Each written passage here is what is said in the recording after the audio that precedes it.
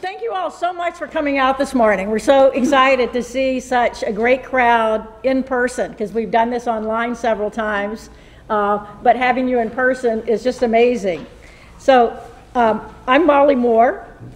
Uh, I'm president of Southern Maryland Audubon Society. I'm also a Charles County Master Gardener, and I am a Maryland Master Naturalist uh, based at the Nanjemoy Creek Environmental Education Center. And Marlene, over to you.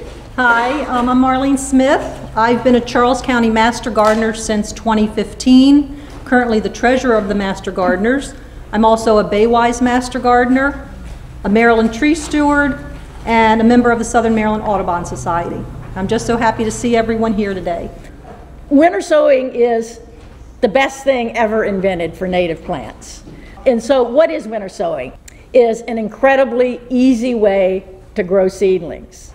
So what's better? In the middle of winter, you know, you put some planting medium in a milk jug that has a hole in the top and holes in the bottom for ventilation and drainage, and you put the seeds out, and it, the jug's out with the seeds, and you wait for them to sprout in the spring.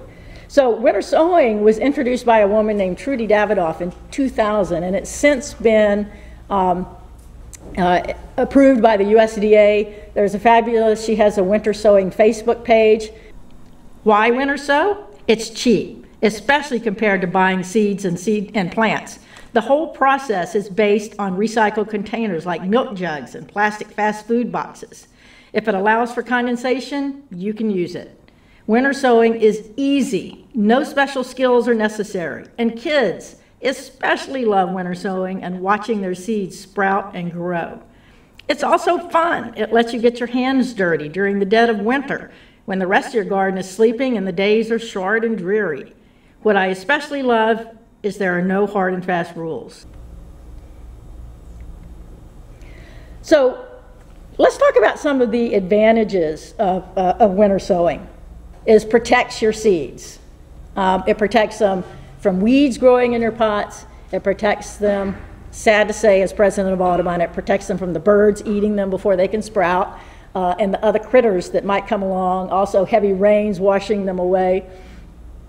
And it also produces incredibly strong, healthy plants. We're going to show you what's happening. You see these tiny little seedlings coming up in your jugs? What's happening down below is these incredibly healthy root systems are growing. Um, and because they're so protected, they can just put their energy in growing those roots, and that's what's going to make the healthiest native plant. One of the best things is it eliminates hardening off. I'm sure a lot of you have gone through the whole process. You plant your seeds in your house, you have grow, grow lights, and then spring comes along, and you're running around putting those pots outside, and you're bringing them in again when it freezes. You don't worry about that. You put your jugs out, and the whole idea is the plants like the snow, they like the rain, you know, they like all the elements of winter uh, that are going to help them germinate. You don't have to water because condensation builds up in the jugs and naturally waters them. And then it provides for cold, moist stratification. And for those of you who've not germinated native plants before, this is something that native plants need basically to germinate. And it's one of the most beneficial reasons for winter sowing natives. They have this naturally hard coating that helps prevent the seeds from being tricked into coming out of dormancy too early because of unseasonable warm spells in winter. So you should check your seed pack for how long species require this cold moist stratification. Um, you'll see here we've just put a couple of examples up um, some are for 60 days, like the orange coneflower. Uh, a good number are, you know, short for 30 days, like butterfly weed and joe pye and, and common milkweed. But always check your package and it will tell you how long it needs the cold stratification. Now, if you're winter sowing, you don't really need to worry about that a whole lot. You can plant your jugs in January or early February and don't worry about counting the days. Nature's going to do that for you. So let's talk for just a minute about natives and about what is a native and how it's classified as a native. So native plants are part of the balance of nature. They have co-evolved with our native birds and insects and pollinators and animals and other wildlife over hundreds of thousands of years. So it's part of the same ecosystem. And in the US, even though there's some plants that have been here for hundreds of years, say when the Europeans settled and invaded this part of the world, um, those are not natives. So the only plants found in this country before that European invasion are considered actual, real, and true native plants. So there are a multitude of reasons to grow native plants. Number one, they are better suited to our climate. You know, we all have tried to plant these pretty tropical plants in our yards at some point and they die. Well, they didn't grow up here, so they can't stand the cold. Um, even with the changing climate, many of our native plants are changing with that climate and are better adapted to change than just sort of outside ornamental plants that you would plant, it might plant in your yard. They require less water over their lifetime. Now, when you first plant the seedlings, like the seedlings that you're going to grow in your jugs, um, you do need the first year to make sure they get adequate water, especially ones that you've planted out in the spring, because everybody knows how much drought we can get in our summers here. So you can't just plant them and forget them in the yard the first year. You want to really help those babies grow and, and be healthy. Uh, they don't require fertilizer or pesticides. Um, in fact, a lot of native plants, if you fertilize them, they're going to get tall and droopy and droop over and they're going to look really scraggly. They don't need all those extra nutrients of fertilizers that you know you would buy at the at the hardware store or the nursery or whatever. Now, the one thing that they can benefit from when you first plant those little seedlings, you can put a very diluted uh, bit of fertilizer in the hole with them just to help them jump start um, and get a good start on life. But after that, basically all they need in the fall, you can kind of mulch them with some leaves or some pine straw or a little bit of mulch.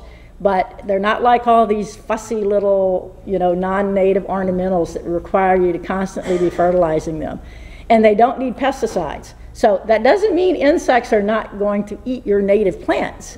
But the truth is, you want the insects to eat your native plants. You want the, the monarch caterpillars on your milkweed. And all native plants are host to some kind of native butterflies or moths or other insects. And so it's okay if they're over there nibbling on your leaves. That's part of the whole healthy ecosystem you're creating in your yard. Um, but for the most part, a lot of natives are not going to be bothered by these sort of non-native insects that are coming along um, that, you know, if you're, we don't recommend putting pesticides on anything, but especially the native plants are just not going to need them. The other thing is they tolerate a huge variety of soil and light conditions. So um, I don't know about you guys, but my yard has a lot of clay, and especially, you know, developers come along in these new developments and they scrape all the good topsoil off and take it somewhere else and sell it, and you're left with this like hard packed clay, and you think, oh, nothing's going to grow in that. Well, lots of natives really like that kind of clay soil, like the, uh, the, our state flower, the black-eyed Susan, the rudbeckia, loves it. Joe Pye weeds love it.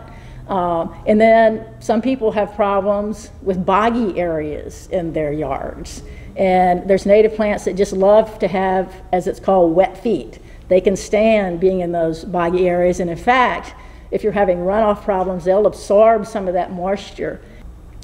They also add year-round interest and beauty to your yard. So, you know, you go out and you plant like begonias or in place impatiens or something like that, and you get this big burst of color, and then they all die.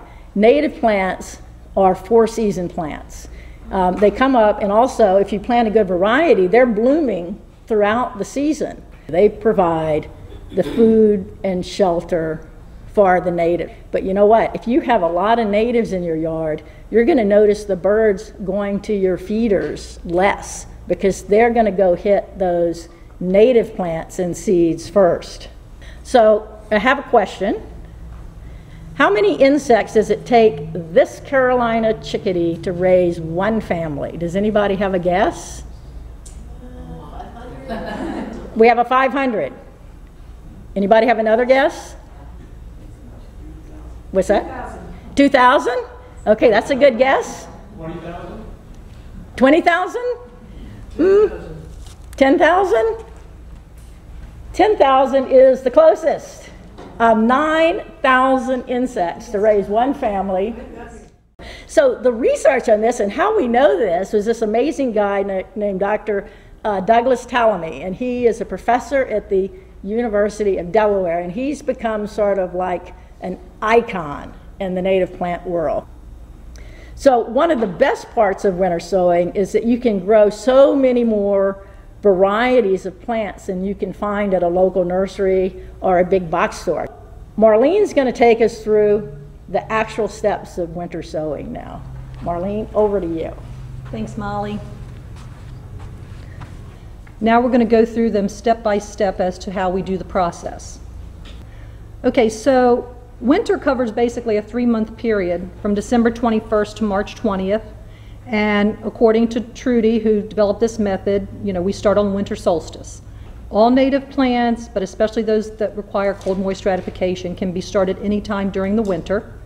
The things that require the longest cold moist stratification you should start first. There is no real schedule, but if you are looking at doing something that requires 90 or 120 days of stratification, you want to make sure to get that in early enough so that it gets the benefit of that cold weather.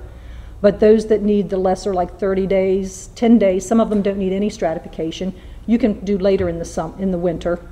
And actually, winter sowing can go into the spring and the summer for other plants.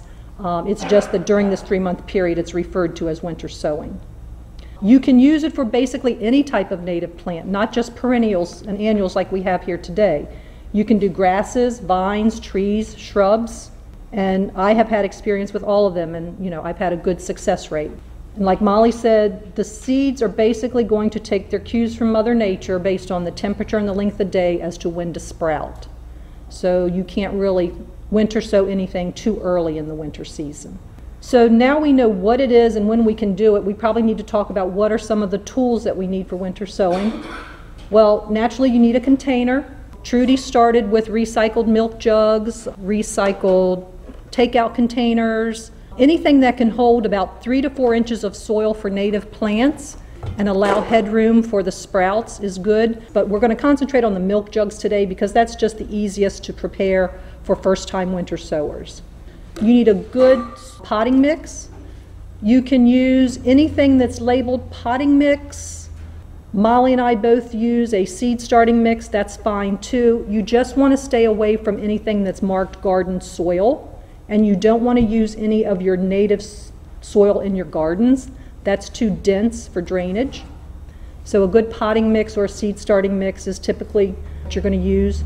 If you get a dry mix, which many of them are, you're going to need a bucket to mix the soil with water. You're going to need the water, jug of water. You're going to need a spade or some sort of tool to mix your soil and water together until you get a good consistency, and we'll talk about that more later. You're going to need scissors or some other sharp tool like an X-Acto knife to cut your jug, gloves, um, either garden gloves or latex gloves. You're going to need tape for sealing your containers, and we'll talk about that a little more later. Some sort of markers. Trudi's go-to method is marking with like a Sharpie, duct tape, and putting it on the bottom of the jug so it's not exposed to the UV light. But we have found that things like China markers and particular garden markers that you can purchase will withstand the winter season in the sun. We also recommend, and we both put plant markers inside our jugs so that if something happens that your writing wears off on the outside or you cut the top off in the spring and throw the jug aside, you still have some sort of marker on your plant. And you need seeds, of course, and optional, some of us put newspaper or fabric barrier or coffee filters in the bottom of our jug to keep the soil in and the slugs out. It's not necessary, it's just something we found helpful. And I do want to make mention before I go any further, Anything you see today that's like a brand name on an item, we are not endorsing that product per se. It's just here for demonstration purposes, but it's hard to do some of the demonstration and get everything generic without a manufacturer's name on it. So as master gardeners, we don't promote particular products. You know, we're here to promote the method today and to promote the native seeds. So the first step preparing your container, whether it be a milk jug or some other container, is to make your cuts. The first cut should probably be your drainage holes in the bottom so that you don't forget that. And then for a milk jug, once you've cut the four to six holes, however many you prefer in the bottom, you want to make your cut around the jug. You want to make sure you leave maybe an inch or two under the handle to serve as a hinge so that it'll be easy to put these back together and close them up. And when I do my preparation of jugs, I typically prepare all my jugs, you know, have them setting aside before I move on to the next steps. So a word about containers. You don't have to use milk jugs. There are plenty of different options. You can use deli takeout containers, tall plastic drink cups or treat or jars, um, even plastic. Some people do it in plastic baggies. Just remember if it can hold three to four inches of potting soil and be covered with a lid that it can vent air and allow the snow and the water in, you'll be fine. Now, depending on the type of container you use, a milk jug is pretty easy, holes in the bottom, hole in the top takes care of this um, ventilation and letting the water in. You don't need any additional holes on top. But if you use something other than a milk jug or a bottle, you may need to do other prep steps. So something like this butter tub, you can use but you need to make sure you do a modification to let light in. So the tub itself is opaque, it doesn't let light in, but if you cut like a window in the top, like saran wrap or a film on it, you can then put the lid back on and punch holes in the wrap so that it gets the moisture in and the air out. Bleach jug. So a bleach jug, that's opaque also, it doesn't let light in, but you could use a bleach jug. You could cut a window, like in the front of the jug, if I could see that. You could like cut a window here and then like tape a clear wrap over it, leave the cap off, and you could use even a bleach jug. The whole idea is recycling and to use as many different types of containers as you can. So if it's transparent, like treat jug, the popcorn jug, that is fine without any modification except to the top and the drainage holes. The milk jugs are considered translucent, we talked about that, but it's the transparent ones excuse me, the opaque ones that don't let light through, that you need to make sure you take those additional steps. And if I failed to say it, once you've made your cuts in the milk jug, throw the cap away. Any kind of container that you're using that had a cap on it, throw it away.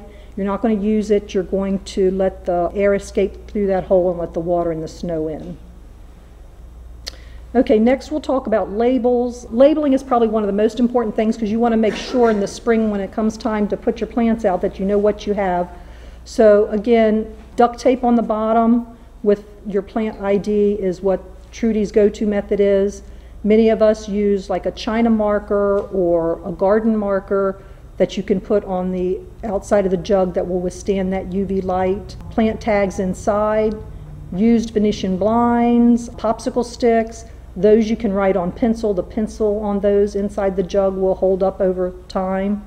And really, there are no hard and fast rules, and we'll probably, you know, we're telling you a lot of different options you can use. That's because that's one of the beautiful parts about winter sowing. You don't have to do it the same way someone else does, as long as you do that basic process. Your potting mix preparation is going to kind of depend on what type you get. Both Molly and I use a dry mix, and that's what we brought today. So you're going to put your soil in a large bucket, add water until it's wet but not soggy. And what you'll see is if you squeeze it in the palm of your hand, if the water drips from it, it's a little bit too wet and you could add more of the mix. If it doesn't hold together when you hold it in the palm of your hand, it probably needs a little more water. And you'll actually see that while you're working on your jugs today. Again, warm water, if you're working outside, hydrates the soil much better than cold water. Now you want to add your potting mix. If you're going to use a barrier to keep your soil and the slugs out, you want to add that. Again, it's not necessary. It's just something that some of us have started to practice. You want to then add your soil. And for natives, you want at least three to four inches of mix in the container. You want to tap the container lightly, either with your hand or tap it on the, the counter or the table to make sure the um, soil settles a bit. And one of the most frequently questions that people get asked when they're teaching winter sowing is what type of soil do I use? Again, there are no hard and fast rules, and we don't promote necessarily one brand or one thing over another. We're just telling you what we've done from experience. You can use a potting mix that contains a fertilizer, but you want to make sure it's a mild fertilizer, like in a seed starting mix. If you use something with too strong a fertilizer, you might burn the, um, the new roots. You definitely want to avoid potting mixes that say they're weed-free, because if a potting mix is weed-free, it's designed to prevent the sprouting of weed seeds, which means it may also prevent the sprouting of your native seeds. So steer clear of those that say weed-free. Also, in southern Maryland, um, because our winters are really pretty damp compared to some of the dry areas where they winter so, you probably don't want to use something that has moisture retention crystals. So if you think your seeds need to be wet and it's even better to use something with moisture retention crystals, you may find that in our area that's not a benefit. And I think Molly has an example of that later, what might happen when your um, jugs get too um, wet. All right, now that you have your soil in your containers, it's time to plant your seeds. Recommendation is typically to put one type of seed in each jug. If you put more than one type, you probably want to make sure you choose seeds that germinate around the same time. Because if you put something in that's an early germinator versus something that's a late season germinator, you may have some trouble coordinating getting those seedlings out in the growing season. If you haven't done so already, after you've put your soil in before you plant your seeds, please make sure you mark your containers. We can't stress that enough. If you're using a really tiny seed, you might want to use some sort of sand to mix your seed with the sand. And what that does is just helps evenly distribute it. One thing that's important to stress is if you're using a seed packet that has planting directions, those directions are intended for indoor sowing or outdoor direct sowing. The only information you need off a seed packet is the planting depth, because you want to make sure you plant your seeds to the proper depth. The sun requirements for germination. Some seeds will tell you they need light to germinate, so you want to make sure those seeds are just lightly put on top of the soil and pressed to the soil. And you also want to pay attention to the days for cold stratification.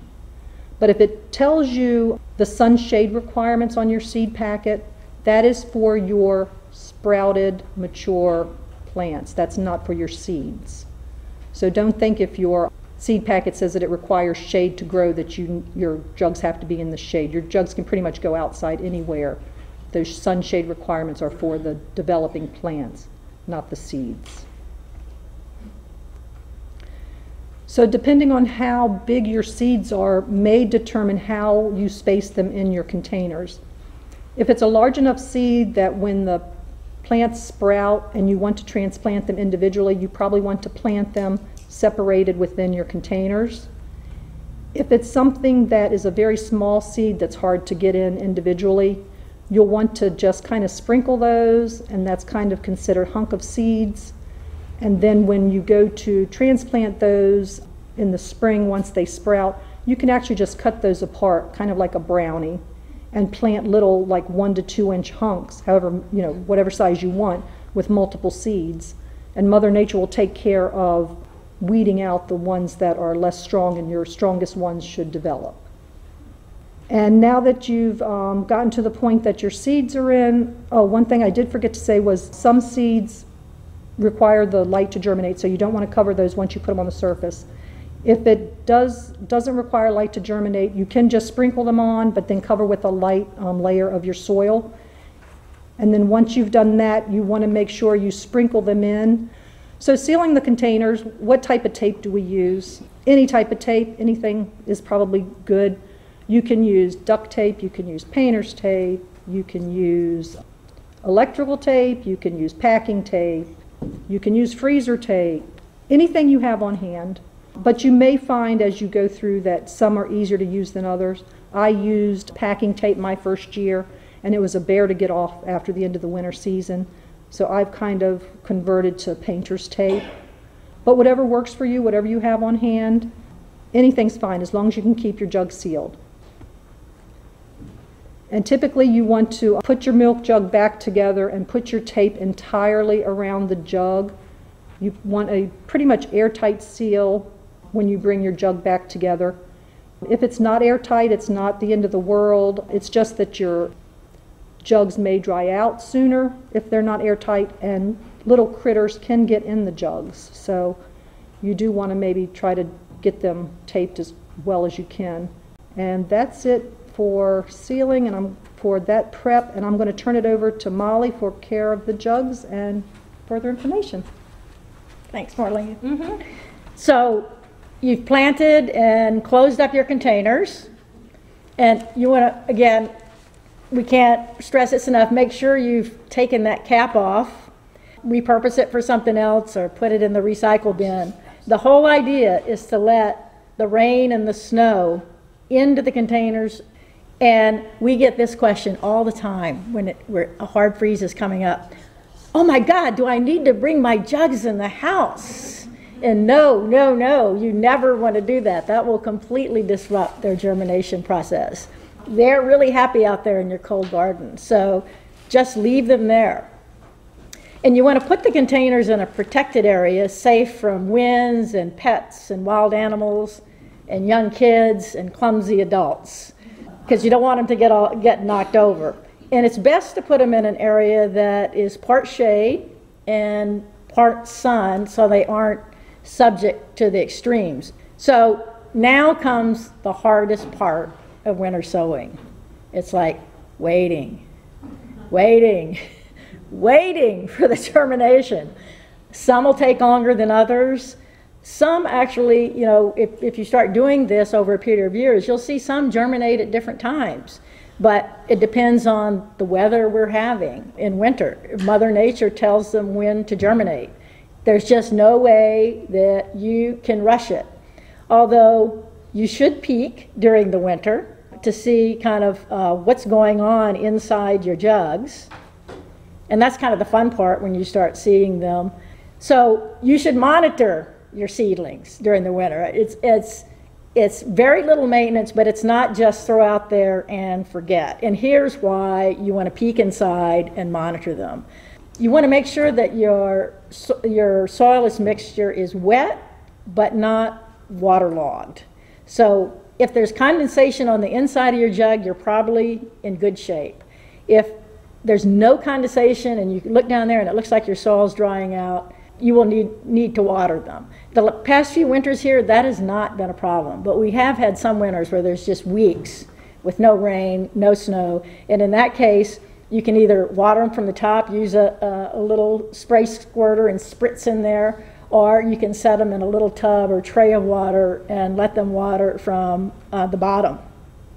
The problem you can tell when you've watered too much or they've gotten too much water is you see the one with the green algae here. This happened to one of mine. Just generally doesn't happen in the dead of winter. It's usually in that period in the spring when we get lots of rain, you have days that heat up. So if this happens, you know, don't despair. Just uh, take the tape off of your jugs and open them up for a couple of days, and generally that will that will dry them out a bit.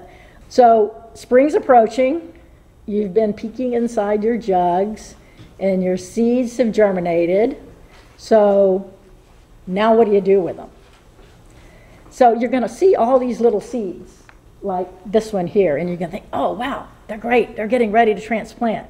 But these actually are not real leaves. They're cotyledons. They're actually a part of the seed that's giving nutrition to the plant, to the embryo of the plant. So you want to leave them undisturbed until you see either two sets of true leaves, or maybe the easiest way to do it is just wait till they're a couple of inches high.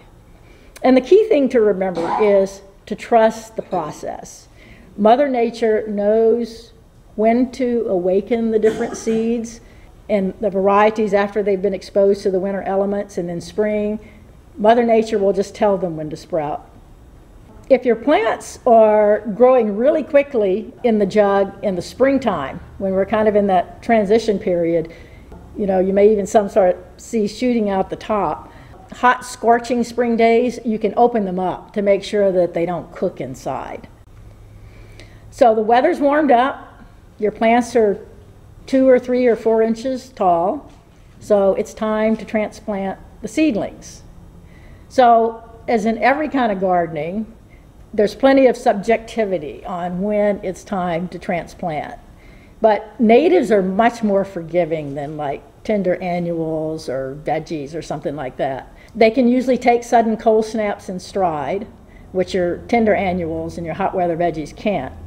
But we still don't recommend transplanting them until they're the right size and until the, the soil has warmed up enough for you to work it. Because even though they are hardy, those little um, roots that are so important to them growing can get shocked you know if you're if you're trying to dig in partially frozen uh, soil or something and that also ruins your soil so you don't want to do that so when it's time to transplant open the containers to let them acclimate to the air for two or three days if you haven't already opened them you may they may have started growing enough that you've opened them so the beauty of winter sowing is in the really vigorous root system that you can't always see. So I pulled these out of their jug, and when I was pulling them apart, it's just extraordinary the roots. So I took one of the roots and stretched it out. You can see the plants are about two inches high. But look what's going on down there in that planting medium the, the, roots are like three or four times the length of the seedling itself. There was just over six inches of root under the surface, and that is the sign of a really healthy plant. At this stage of a plant's life, the roots are way more important than the leaves. So, how do you get them out of the jugs? So, sometimes you can just flip over the container and they'll pop right out. And other times they're a little stubborn, like you can see here. They really don't want to leave. But there they go. See, you can see all the roots there. And those are some healthy little baby plants. So the roots are long and they're healthy, but you still need to be careful taking them out of the containers when you're going to take them apart so that you don't rip them. So you want to be very gentle with them and kind of treat them like the tender babies they are. So if you're using the hunka seeds methods that Marlene talked about a little earlier, you can use a sharp knife to cut them through, as she said, kind of uh, brownie style. The idea behind hunka seeds is that Mother Nature will allow the strongest and the healthiest plants to survive. I personally have had mixed results with the hunka seed method.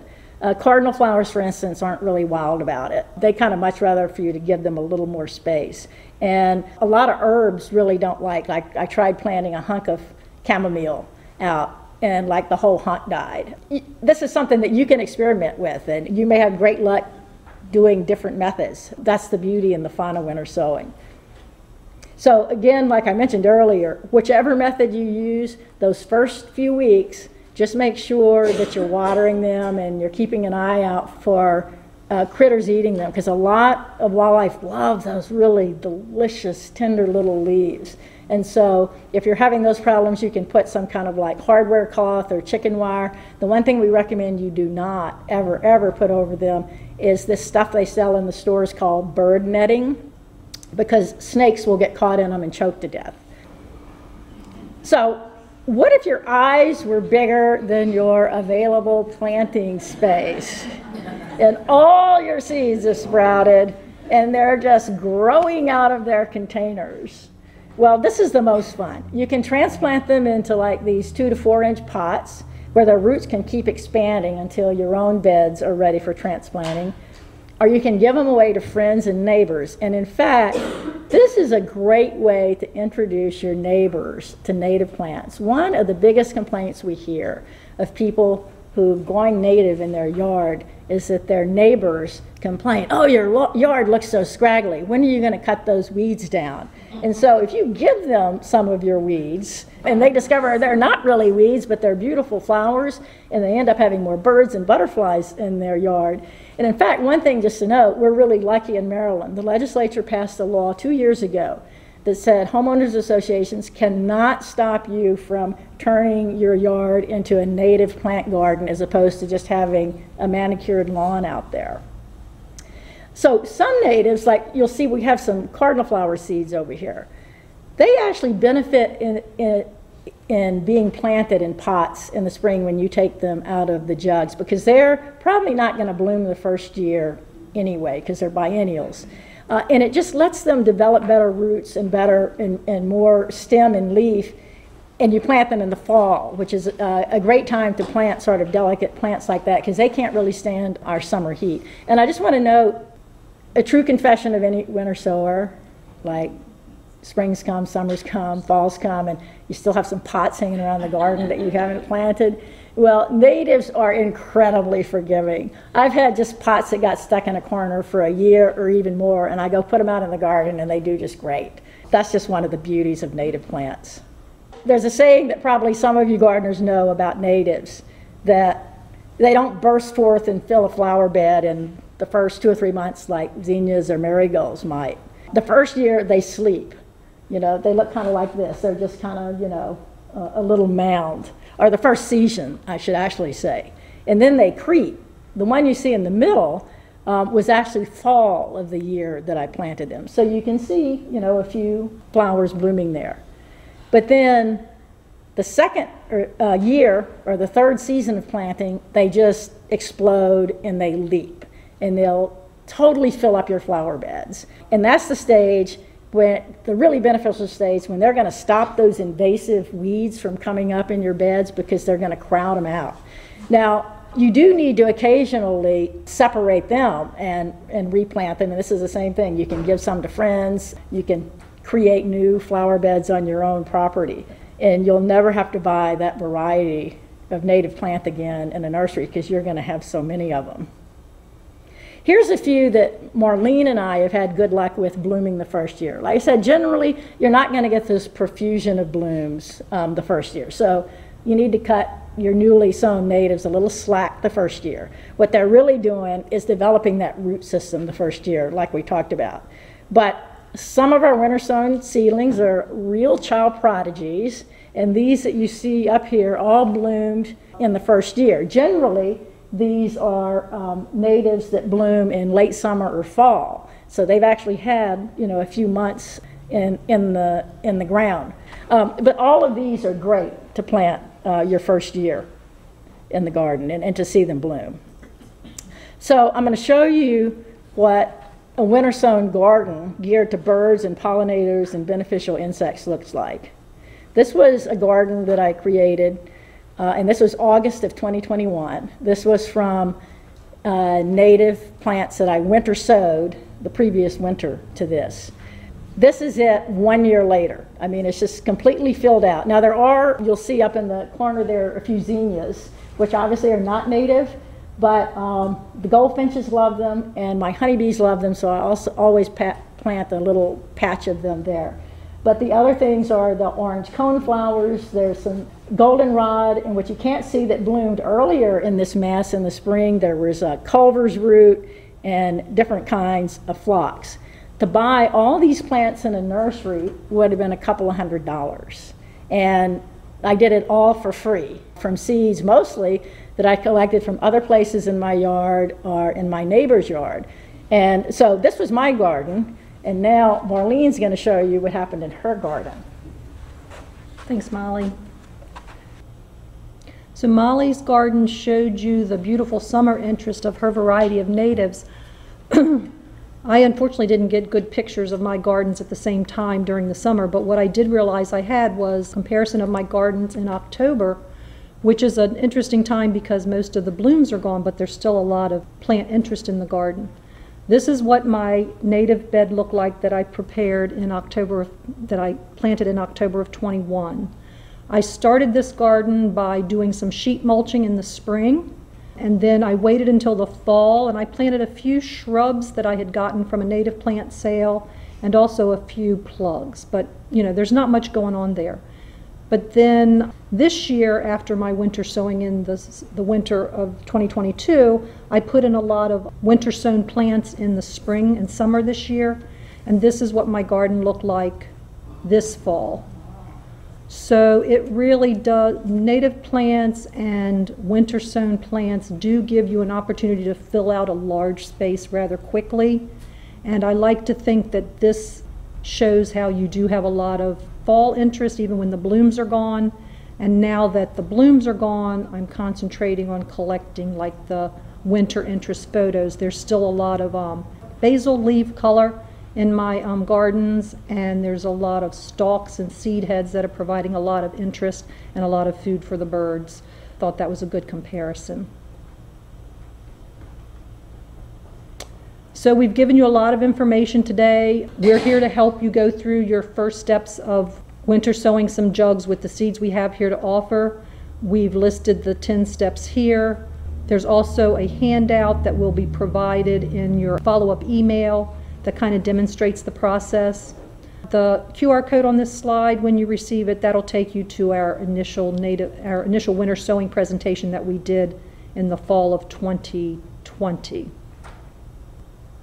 We've got a lot of resources on the presentation for you when you get this. All the links should take you to the appropriate places. The University of Maryland has extensive resources on their website. And just so you know, the University of Maryland Master Gardeners, we're not just about native plants. We have multiple sub-programs that we talk about and promote.